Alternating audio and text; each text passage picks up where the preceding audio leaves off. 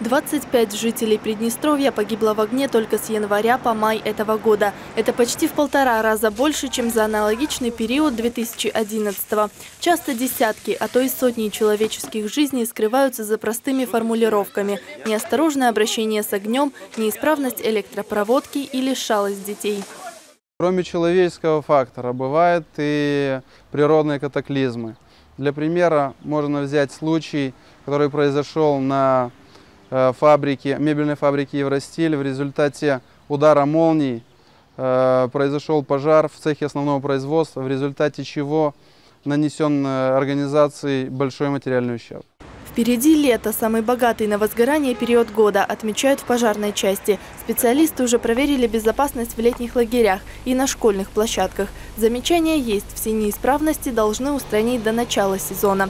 Впереди проверка мест проведения выпускных вечеров и многое другое.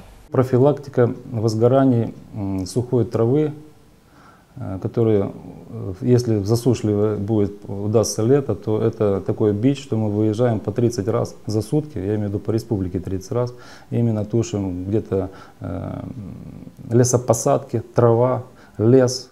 Среди задач на перспективу – создание постов пожарной охраны в каждом микрорайоне столицы. Это позволит оперативнее переезжать на вызовы, а значит уменьшить количество жертв, отметили в пожарной части.